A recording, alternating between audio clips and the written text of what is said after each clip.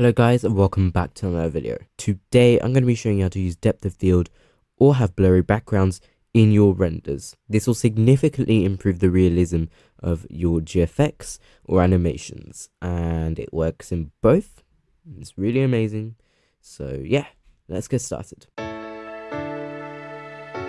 So firstly let me just explain depth of field. So depth of field is literally just the blur in the background and how the camera has to focus on the object. So as you can see, this is the focus, okay? These flowers at the front. So all of this, which is inside the red outline, is in focus. The rest is out of focus. And to make it easier for the human vision to see, we blur that. And that, that, this is done in our eyes, as you can see. If you even just put your finger in front of your face, you can see everything else around it goes blurry. So this is an effect that has been commonly replicated and looks amazing in some places, doesn't in others, and I'll be showing you how to master this. I do this in my own animations, so um, yeah, if you like what you see in there, then this should be useful to you.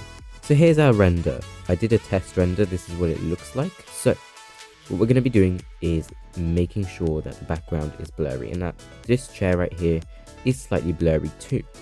We'll be adjusting settings and you know I, I want to hide these embarrassing clashing faces.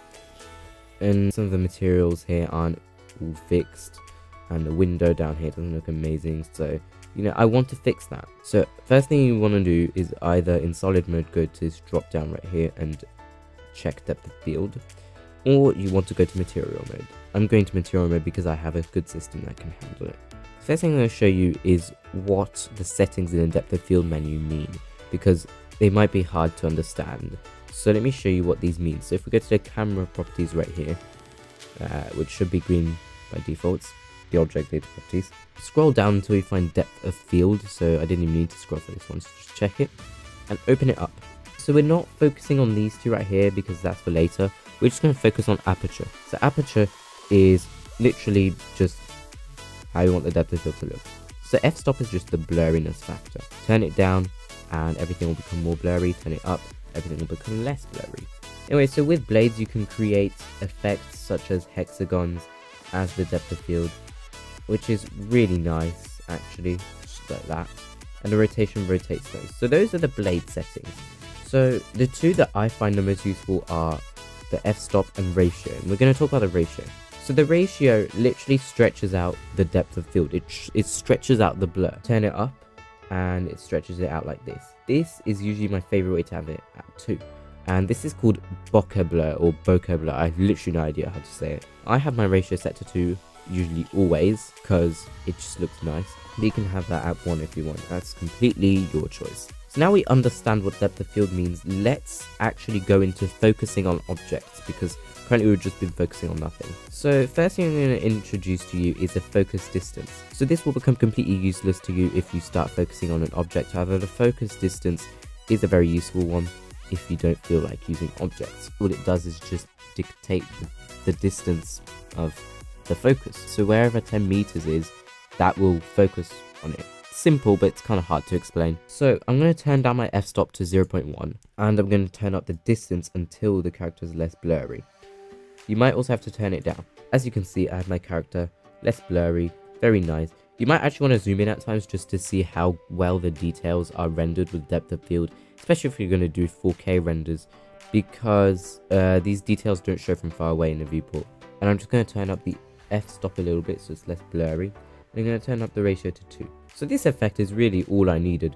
I'm fine with it. I, I mean, I like it. In fact, I might turn it down to 0.2. So here it is rendered, as you can see. We have slot 1 right here, which is with no depth of field. This was the original render. Slot 2, with our new depth of field we just added. It, it looks so much better. So much better. Um, actually, something you might want to know is that Depth of field creates more noise, so if you're going to be using OptiX denoising, that noise might still be more visible. Although I sort of like it, so I keep it in. I, am fine with it. So yeah, this is our render. I'm actually very happy with this one. I don't even think we might need to use a focus object, but I'm going to have to explain it to you. So, turning this back on, you can see that the object is exactly what we want to focus on. We don't want to focus on the background. And we have told Blender that using a distance. However, we can do that using something even smarter. Focusing on an object. So, forget the distance. It will be disabled once we add the focus object. So I want this focus object to be the head. So we're going to do that. Use the eyedropper and just select the head. There you go, done. The distance has literally been done for you. You didn't you didn't need to tinker. It still looks really nice. There you go. So if we compare with the new render, this is slot 2, this is slot 3. There is barely any difference. I mean, I could check the pixels. Look.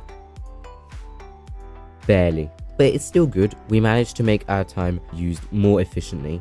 However, one thing I might want to mention is that this does not always work. This is not always the best method and in fact, it's not amazing for animations. Both the two methods I just showed you are not amazing options for animations. They work, but they're not amazing. So I'm going to show you one that is amazing that I literally always use. So let's just click on the X next to the focus object. So now we have no focus object and still the distance again. We are going to need to add another object. This time it's going to be an empty. So if we go to add, if we go to shift A, we can add in one of these. This is in the empty section right here. So don't use any of these, use the empty section. And so in here, you can add either a plain axis or a cube. And a sphere works too, but I think cube, plain axes are the best ones. You can also use a sphere though. And actually a sphere is not bad. So those three are your options for depth of field, really. So I'm going to be using a cube. I'm just adding in a cube right here. And I'm going to move this upwards. I'm going to scale it.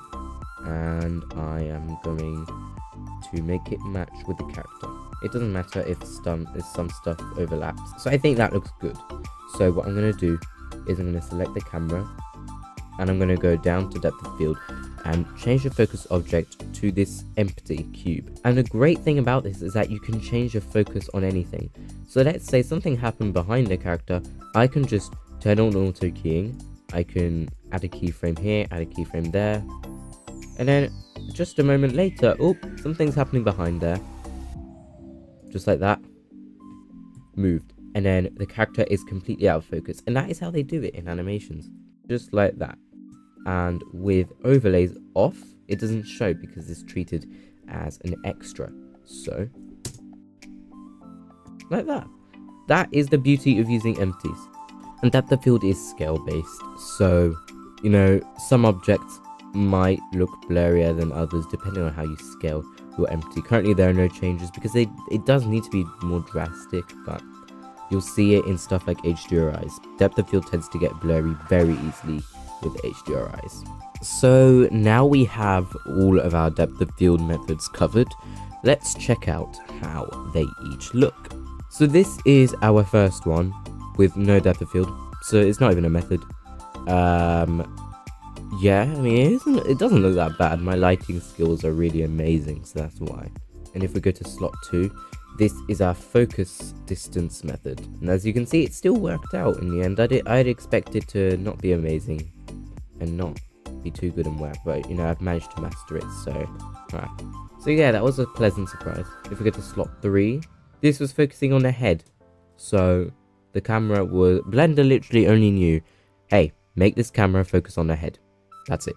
Along with a load of other settings, but you know what I mean. And for slot 4, which is really our best method here, it was fixing on the empty. Honestly, there is barely any difference. It's only pixels. Honestly, I just recommend using the empty method if you're going to be doing animations. If you're going to be doing GFX, really that's up to you. You can do any of them, but I prefer the empty method. Anyways guys, that's the end of this tutorial. I hope you enjoyed it, I hope it helped you. Thank you for watching, and I will see you next time. Bye!